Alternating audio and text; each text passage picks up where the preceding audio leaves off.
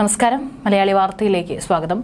ഇപ്പോഴും നടത്തുന്ന തിരച്ചിലുകൾക്കൊടുവിൽ പഴയ വർഷങ്ങൾ പഴക്കമുള്ള പല അവശിഷ്ടങ്ങളും ലഭിക്കാറുണ്ട്. അത്തരത്തിൽ ലഭിക്കുന്ന അവശിഷ്ടങ്ങളെല്ലാം തന്നെ അത് വലിയ രീതിയിൽ ഗവേഷണത്തിന് വിധേയമാവുകയും അത് നൂറ്റാണ്ടുകളുടെ പഴക്കമുണ്ടെന്ന് സ്ഥിരീകരിക്കുകയും ചെയ്യാറുണ്ട്. ഇപ്പോൾ ഇന്ത്യൻ മഹാസമുദ്രത്തിൽ അത്തരത്തിൽ ഒരു കപ്പലിന്റെ അവശിഷ്ടങ്ങൾ കണ്ടെത്തിയിരിക്കുകയാണ്. അതിന് ഏകദേശം അഞ്ഞൂറ് വർഷം മുമ്പ് പഴക്കമുണ്ടെന്നാണ് പറയപ്പെടുന്നത്.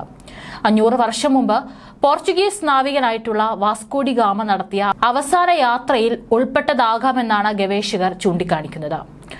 ആഫ്രിക്കൻ രാജ്യമായ കെനിയയുടെ തീരത്തിന് സമീപമാണ് ഈ ഒരു കപ്പൽ കണ്ടെത്തിയിരിക്കുന്നത്. ഇത് സ്ഥിരീകരിക്കാനായി കൂടുതൽ തെളിവുകൾ സമാഹരിക്കുകയാണ് ശാസ്ത്രജ്ഞർ. കെനിയൻ പട്ടണ മേഖലയായ മലിന്ദിക്ക് സമീപം രണ്ടായിരത്തി പതിമൂന്നിലാണ് ഈ കപ്പൽ ഛേദം കണ്ടെത്തിയത്. ആയിരത്തി അഞ്ഞൂറ്റി ഇരുപത്തിനാലിൽ മുങ്ങിയ സാവോ ജോർജ് എന്ന ഗാമയുടെ വ്യൂഹത്തിലെ കപ്പലാകാമെന്നാണ് ഇപ്പോൾ ഗവേഷകർ കരുതുന്നത്. തീരത്തിന് അര കിലോമീറ്റർ അകലെയും ആറ് മീറ്റർ താഴ്ചയിലുമാണ് കപ്പൽ നിലകൊള്ളുന്നത്. ഗാമ നടത്തിയ മൂന്നാമത്തേതും അവസാനത്തേതുമായ ഇന്ത്യൻ യാത്രയിൽ ഉൾപ്പെട്ട കപ്പലായിരുന്നു സാവോ ജോർജ്. ഇന്ത്യയിലെത്തിയ ആദ്യ യൂറോപ്യൻ വാസ്കോഡി ഗാമയല്ല. എന്നാൽ ആധുനികത നേടിയ യൂറോപ്പിൽ നിന്ന് ആദ്യം ഇന്ത്യയിലെത്തിയ സഞ്ചാരി ഗാമയാണ്. ഗാമയുടെ കാലഘട്ടത്തിൽ ഇന്ത്യ എന്നാൽ യൂറോപ്പുകാരെ സംബന്ധിച്ച വലിയൊരു സ്വപ്നഭൂമിയായിരുന്നു. കച്ചവടക്കാർ തമ്മിൽ കൈമാറി കിട്ടിയ കഥകളും ഭാവനകളും ഒരു പറുദീസയുടെ ചിത്രം ഇന്ത്യയെക്കുറിച്ച് അവരുടെ മനസ്സിൽ സൃഷ്ടിച്ചു.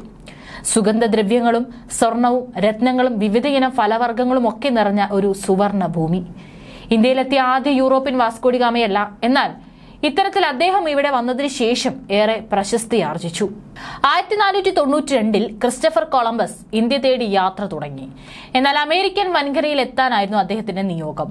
ഇന്ത്യയിൽ എത്താൻ കൊതിച്ച സഞ്ചാരികളിൽ ഗാമയാണ് ആദ്യം ലക്ഷ്യം നേടിയത്. ആയിരത്തി നാനൂറ്റി തൊണ്ണൂറ്റിയെട്ട് മെയ് ഇരുപതിനാണ് ഗാമയുടെ ആഗമനം. ആയിരത്തി നാനൂറ്റി അറുപതിലാണ് ഗാമയുടെ ജനനം. പോർച്ചുഗലിലെ സെൻസസിൽ ഒരു പ്രഭു കുടുംബത്തിൽ എൻസ്റ്റീവോ എന്ന കടൽ സഞ്ചാരിയുടെ മകനായി. ഇരുപതാം വയസ്സിൽ ഗാമ പോർച്ചുഗീസ് നാവികസേനയിൽ ചേർന്നു. കടൽ യാത്ര എന്നത് ഗാമയെ സംബന്ധിച്ച് ഒരു വികാരമായി തീരാൻ അധിക സമയം വേണ്ടി വന്നില്ല. ആയിരത്തി നാനൂറ്റി എൺപത്തി ഏഴിൽ പോർച്ചുഗീസ് പര്യവേക്ഷകൻ ബാർത്തലോമ ഡയസ് ഇന്ത്യൻ അറ്റ്ലാന്റിക് സമുദ്രങ്ങൾ തമ്മിൽ ബന്ധിപ്പിക്കപ്പെട്ടിരിക്കുകയാണെന്ന് കണ്ടെത്തി. ഇത് വാസ്തവമെങ്കിൽ ആഫ്രിക്കയുടെ തെക്കേ മുനമ്പിലെത്തി ചുറ്റി സഞ്ചരിച്ചാൽ ഇന്ത്യയിൽ എത്താമെന്ന് ഗാമ കണക്കുകൂട്ടി. ഈ കണക്ക് ശരിയായിരുന്നു. ആയിരത്തി നാനൂറ്റി തൊണ്ണൂറ്റിയേഴിൽ സെന്റ് ഗബ്രിയൽ എന്ന ഇരുന്നൂറ് ടൺ ഭാരമുള്ള കപ്പലിലാണ് ഗാമ പോർച്ചുഗലിൽ നിന്ന് പുറപ്പെട്ടത്.